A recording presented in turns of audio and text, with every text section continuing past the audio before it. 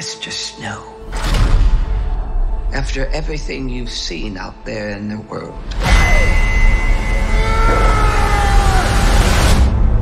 what are the Hunger Games for? Are you, are you coming to the tree? The Hunger Games, they're to punish the districts.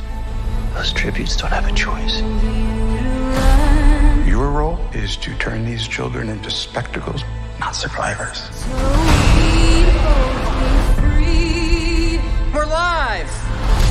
Smile. It's why we have teeth.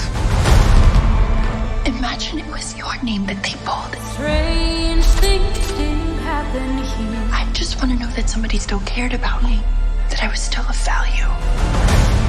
Welcome to the Capitol. You look like you shouldn't be here. I shouldn't, but I'm your mentor. A rebel. I am gonna get you out of here. You want to protect people, then it's essential to accept what human beings are and what it takes to control them.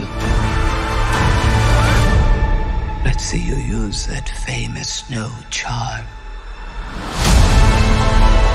You seem like a good man, Coriolanus Snow. I have seen what war does to people. Fueled with the terror of becoming prey. See how quickly we become predator?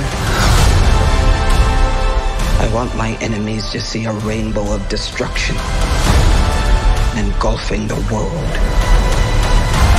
You're monsters! All of you! Good luck with that poor little songbird. Where is she?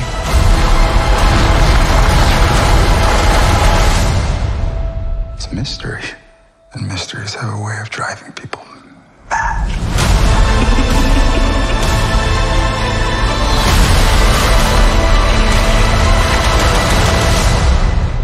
Mr. Snow, let me ask you one final time.